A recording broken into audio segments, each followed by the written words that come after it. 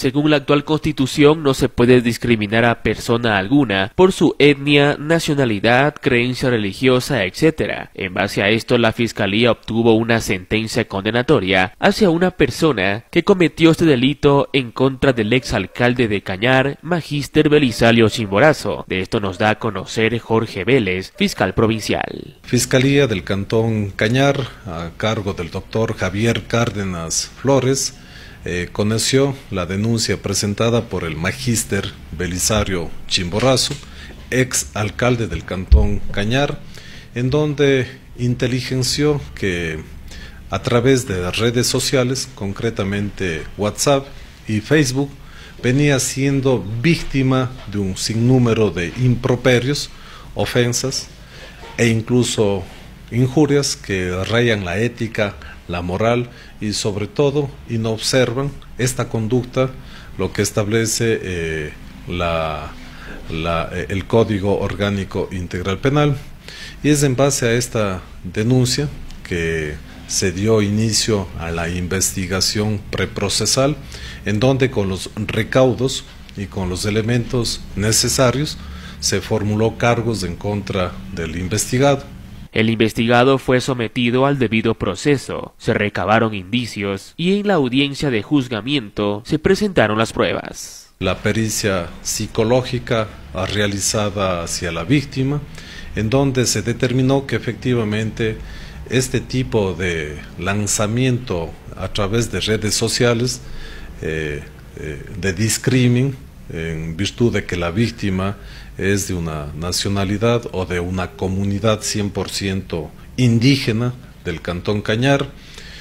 eh, le generó preocupación y le generó un cambio en su estado psíquico y emocional. Además de aquello, se realizó la materialización o la explotación que se acreditó con peritos del Departamento de Criminalística, en donde efectivamente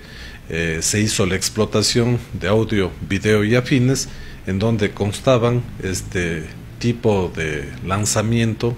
eh, de discrimen en contra de la víctima. Luego de varias versiones donde se realizó el análisis por parte de los jueces, se determinó el cometimiento del delito de discriminación racial imponiéndole una pena privativa de libertad de un año. Esto deja un, precedente también porque en una sociedad eh, eh, pluricultural en donde la forma de pensar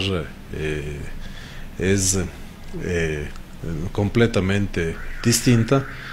genera y deja un precedente porque no obstante que pertenezca a una, a una etnia o una nacionalidad indígena, se puede realizar este tipo de, de ofensas, de discrímenes que ha cambiado el estado emocional de la víctima y se ha justificado y se ha demostrado con la solvencia jurídica con la solvencia axiológica y deontológica y aquella esta solvencia los señores jueces han dado paso y se ha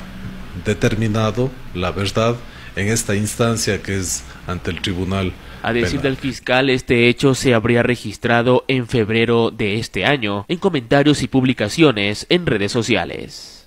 Esperemos la notificación eh, de parte del organismo de justicia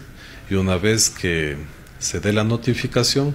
eh, respetando el debido proceso, eh, habría que ver si es que se presentan los recursos o los fallos pertinentes, como es el recurso de apelación, de lo contrario, eh, la sentencia se procedería a ejecutar. Está con medidas alternativas a la prisión preventiva. Es el Honorable Tribunal Segundo de Garantías Penales del Cañar. Para el Noticiero Contacto informó Dexi Mendoza.